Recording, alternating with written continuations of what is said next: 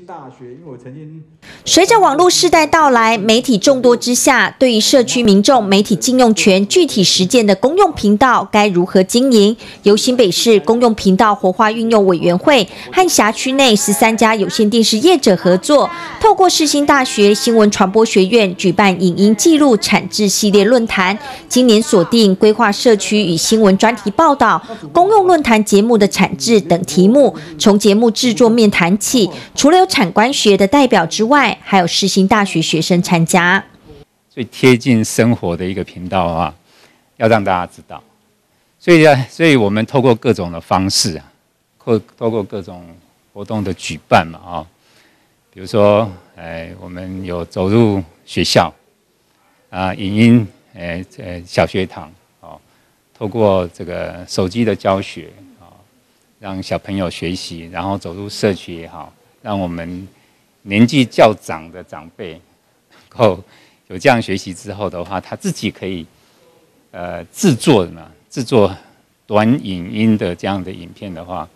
也可以透过我们这样的公共频道里面去做传播，它这是它一个展演的。因为我是身为一个世新大学这样一个传传播大学的一个学生，那虽然说我不是传播学院的学生，但是我觉得就是因为毕竟我们世新的教学理念就是说，呃，以传播贯穿各学门，包括说我们像行广，还有很多商业学院的一种方式，想要透过呃想要去传达我们理念，都必须靠传播。以及这个公共频道来去做一个宣导。新北市新闻局副局长谢丽兰表示，全数位时代来临，传播方式多元，但节目制作本质不变。透过业者和学界相互研讨，希望能带来更多收获。世新大学副校长陈清和强调，拍摄的门槛相较过去降低许多。论坛的目的之一，要引领民众再多了解公用频道的精神，媒体禁用权。我们的公用频道是属于所有的收视户共有的，可以去禁用使用它的一个重要的一个媒介。所以，对我们的有线电视业者来讲，除了提供这样一个平台之外，也希望能够在这个平台能够提供很重要的地方在地的特色内容跟资讯，然后包括这些内容，不管是来自呃我们有线电视业者制作的，还是针对民众社区团体大家所制作的，最重要是让大家成为生活最重要的一部分，然后也成为我们在呃自己的跟邻居跟所有的亲朋好友最重要一个来往的一个呃桥梁。做那个有线电视的。社区服务有很多事情是还是对跟我们的一般的社区民众还是会有距离。那怎么让它的距离缩短缩到最小？